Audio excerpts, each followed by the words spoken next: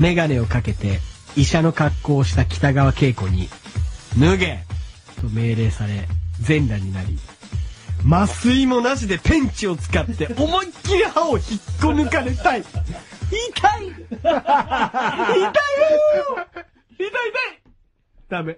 ダメですか、上はダメ。首から上はちょっと危険。やっぱ脳に近いから。はいはいはいはい。乱暴な、その素人の乱暴なプレイは危ない。危ないですか？死に至っちゃう。